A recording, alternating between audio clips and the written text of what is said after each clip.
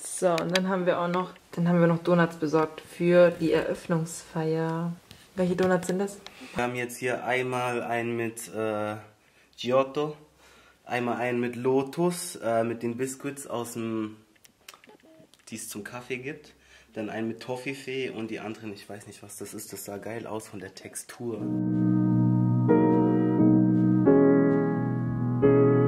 Leute, willkommen zum ersten Online-Shop-Vlog. Ich habe euch ja erzählt, dass ich zusammen mit meinem Freund jetzt unseren neuen Online-Shop plane und aufbaue. Heute ist Freitag, nein, heute ist Samstag und wir öffnen morgen bzw. heute um 0 Uhr, also am Sonntag. Wir oder ich haben uns heute gedacht, dass wir euch so mitnehmen und zeigen, was wir so bisher gemacht haben. An Silvester sind wir zum Ikea gefahren, weil wir gesagt haben, okay, wir brauchen für unsere ganzen Produkte, für Drucker, für Versandpapier, Versandmailer, für die ganzen Verpackungen, bla bla bla, brauchen wir einfach ein schönes Office Space. Und deswegen sind wir an Silvester zu Ikea gefahren und haben uns da gekauft einmal ähm, einen Schreibtisch, äh, so ein Kallax-Regal und einfach, also der Schreibtisch ist so groß, da passen auch sehr, sehr viele Sachen rein und eben so Kleinigkeiten auch für den Shop an sich, für die Produkte.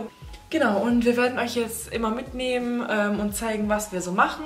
Wie gesagt, gerade ist einfach das Thema erstmal die Eröffnung. Ähm, deswegen haben wir gerade alles vorbereitet, so viele Bilder gemacht für TikTok, für Insta, für den Shop an sich. Newsletter haben wir schon verschickt an Kunden, die eben unseren äh, Newsletter schon abonniert haben. Wir haben eine Facebook-Ad geschaltet, damit Leute sich eben für den Newsletter anmelden und dann direkt am Eröffnungstag benachrichtigt werden. Da haben wir jetzt insgesamt 100 Kunden. Ja, jetzt ist 18.30 Uhr, das heißt bis zum Launch sind noch fünfeinhalb Stunden und ich muss noch ein paar Produkte einfügen in Shopify, ähm, die wir jetzt Last Minute, sage ich mal, äh, noch einfügen wollen, die wir noch verkaufen wollen. Und das mache ich jetzt. Was wir dann noch machen müssen, ist den Newsletter aufbauen, den wir dann morgen früh rausschicken, damit die Kunden eben direkt früh am Morgen, am Sonntagmorgen wissen, okay, sie können jetzt shoppen. Und heute Nacht posten wir dann auf unseren Social Media Kanälen, dass wir jetzt online sind und die Kunden endlich shoppen können. Hier habe ich dann noch Last Minute ein paar Produkte eingefügt. Über Shopify geht das sehr, sehr leicht, wenn ihr schon Produkte hochgeladen habt und die neuen Produkte den alten Produkten ähneln, dann könnt ihr die alten Produkte einfach duplizieren und dann da drin arbeiten. Das heißt, da habe ich jetzt nicht so lange gebraucht und dadurch, dass wir schon vorher Bilder gemacht haben und alle Bilder parat hatten, konnte ich die ganz einfach und schnell einfügen.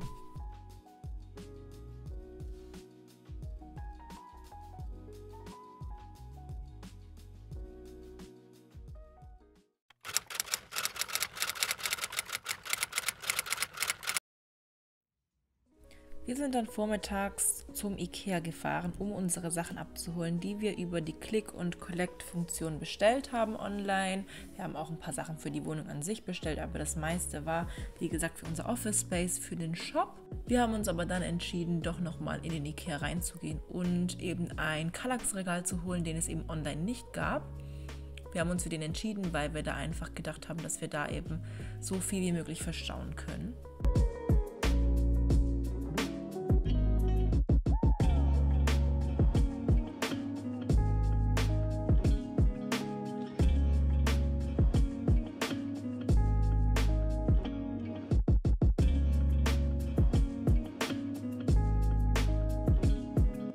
Dann haben wir natürlich auch direkt beim Ikea die Fleischbällchen gegessen.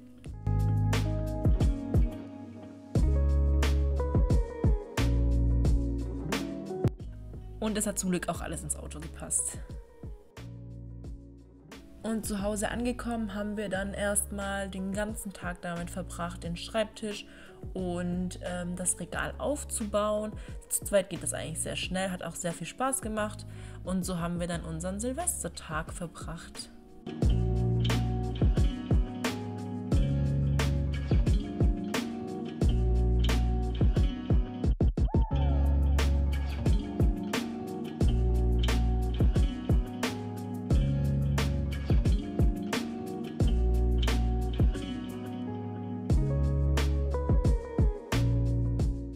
Ich zeige euch mal, wie das Ganze jetzt hier bei uns aussieht. So, das ist der Schreibtisch, den wir gekauft haben. Ich werde ihn euch auf jeden Fall auch verlinken. Wie gesagt, bei Ikea gekauft. Da haben wir noch ähm, dieses Regal geholt und ähm, haben da eben auch einige unserer Produkte drin. Ich zeige euch mal, was wir hier so haben. Also da haben wir auf jeden Fall Produkte drin. Ähm, Produkte, da ist so Zeug für den Versand und so drin. Ja, Produkte, Bürosachen. Hier haben wir die äh, Jewelry Boxen für Halsketten die Boxen, die dann da reinkommen. Ich muss hier sagen, ich finde das Logo ist ein bisschen zu klein drauf. Aber das macht nichts, das verbessern wir dann beim nächsten Mal.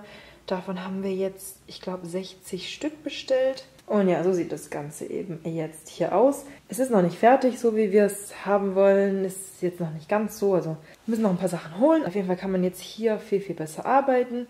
Wie ihr seht, hier ist so eine Wand, um Bilder zu machen. Da hat mein Freund gestern noch ein paar Bilder geschossen. Und deswegen sieht es hier noch so aus. Er war beim Teddy, hat noch ein paar Sachen gekauft, so Requisiten für die Produktfotografie und hat dann eben gestern geschossen. Dieses Ding hier, diese zwei Platten, die habe ich aus Amazon. Habe ich euch schon mal in dem Video gezeigt, werde ich euch aber auf jeden Fall auch nochmal unten verlinken. Und ja, hier kann man einfach sehr, sehr gut Bilder schießen damit. Die Rückseite sieht auch nochmal anders aus. Das heißt, man kann entweder diese weiße Seite verwenden oder eben die andere Seite.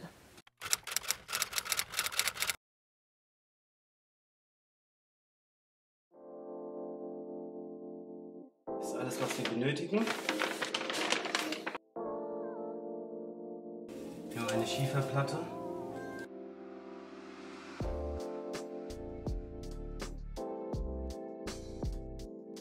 Dann haben wir hier ein bisschen Stoff für eine andere Textur in zwei Farben.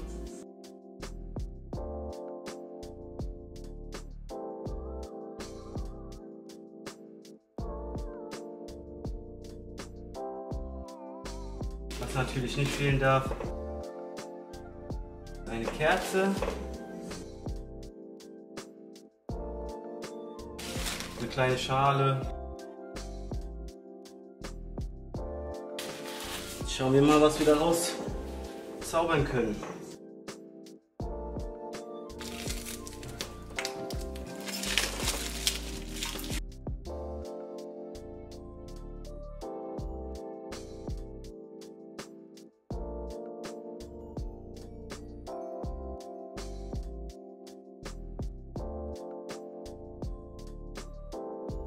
Schöne schwarze Optik auf unserer Platte.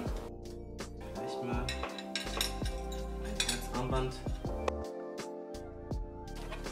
Dann benutzen wir unsere Kamera.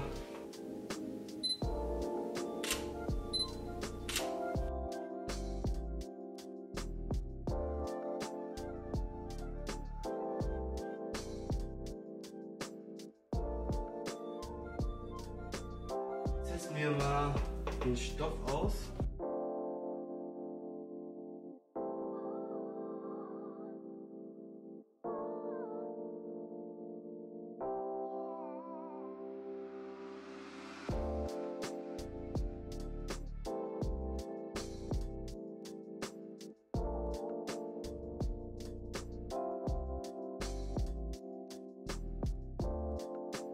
Hier zeige ich euch nochmal, wie ich Produktbilder schieße mit meinem Gimbal. Das Ding ist echt super, weil es einfach stabilisiert, wenn man über die Bilder fährt und man kann langsame Rotationen aufnehmen. Und hier nochmal eine kleine Idee, wie man Produktbilder schießen kann. Man darf es nicht zu arg übertreiben und man muss immer noch eine schöne Fläche machen, um die Stücke aufzulegen. Hier habe ich mich dafür entschieden, äh, drei verschiedene Sachen aus derselben Kollektion zu belichten, damit das ein schönes Gesamtbild gibt. Hier seht ihr jetzt ungefähr den Winkel, in dem ich geschossen habe. Und es ist ganz wichtig, dass man die Bilder in mehreren Formaten schießt, hochkant, quer, ein bisschen weiter weg, ein bisschen näher dran, je nachdem, wo das Bild dann platziert werden soll für eure Werbung oder im Insta-Feed.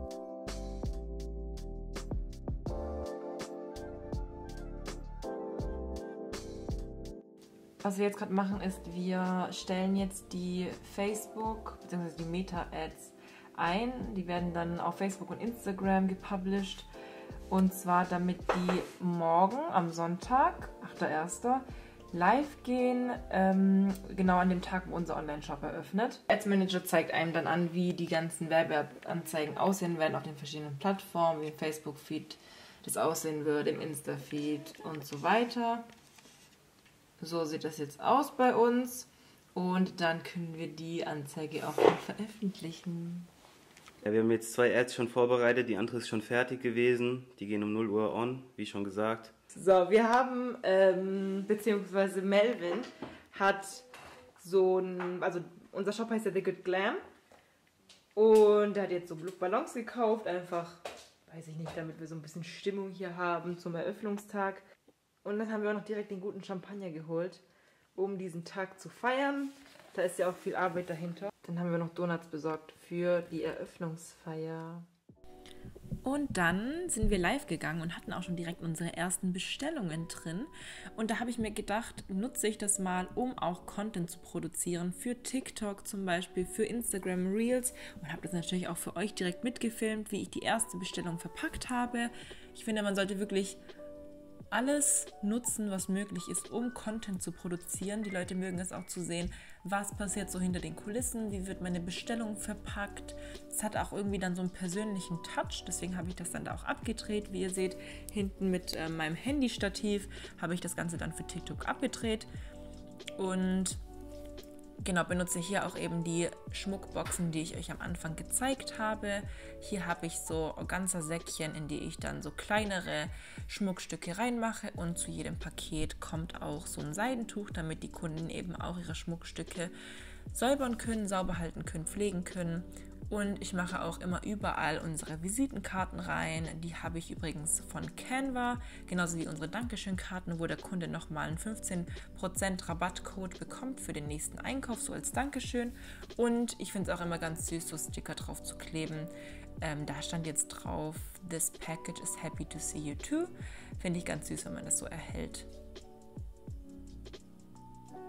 Und hier seht ihr dann auch schon das entstandene TikTok-Video aus dieser Bestellung. Ich habe hier einfach ein paar Sequenzen mitgefilmt und dann eben zusammengeschnitten und direkt auf unser TikTok-Kanal hochgeladen.